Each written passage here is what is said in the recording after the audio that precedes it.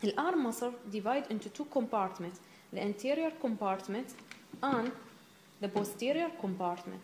Anterior and posterior compartment. Flexor compartment and extensor compartment.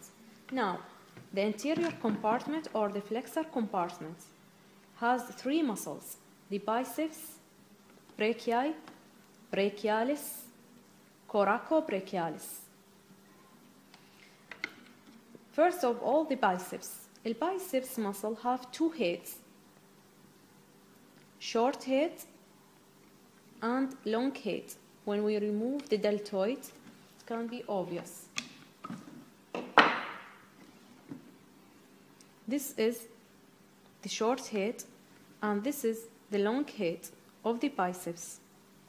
The short head originates from the coracoid process of the scapula, while the long head turned ar- around the bicipital groove of the head of the humerus and goes more medially to be in, in originated from the supra uh, glenoid tubercle of the scapula.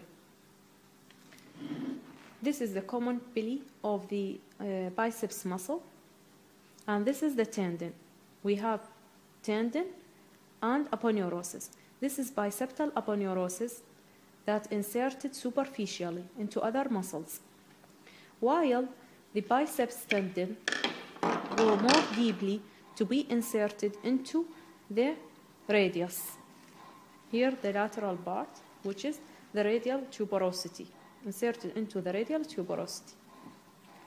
The action of biceps, flexion of the forearm around the elbow joint into the arm, and plus supination. Now, the other muscle is the brachialis muscle. Brachialis muscle originates from the anterior surface of the distal one third or the distal half of the humerus.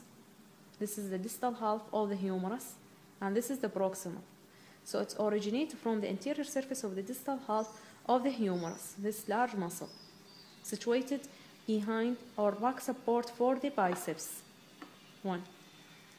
Inserted in the reverse way to that of the biceps. The biceps inserted into the radial tuberosity, while the brachialis inserted into the ulnar tuberosity. The action of such muscle flexion of the forearm around the elbow joint into the arm.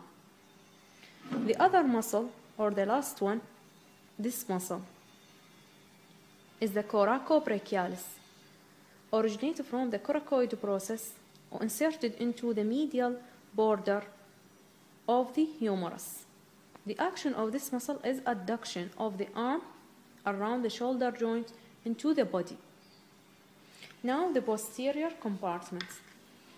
The posterior compartment or the extensor compartment is the triceps from its name having three heads.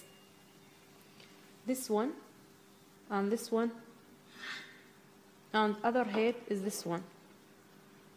Just appear which is located deeper. This one is the lateral head, this one is the long head, while this is the medial, medial, long, and lateral heads. The lateral heads originate from the posterior surface of the humerus, just above the radial groove. While the medial head originates also from the posterior surface of the humerus but uh, but inferior to the radial groove. So this is situated medially and this is laterally. So it's called lateral and medial head. The long head goes more up to be uh, originated from the infraglenoid tubercle of the scapula. All of these three heads come to be inserted into the olecranon process of the ulna into a common tendon. The action of this muscle extension of the forearm around the elbow joint into the arm